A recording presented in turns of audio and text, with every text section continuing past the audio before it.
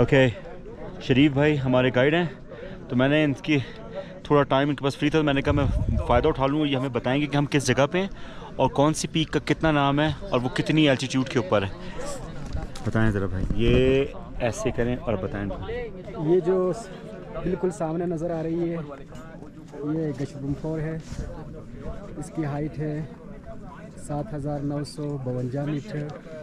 और उसके साथ ही राइट हैंड पे ब्रॉड पीक है, आठ हज़ार सैंतालीस मीटर है।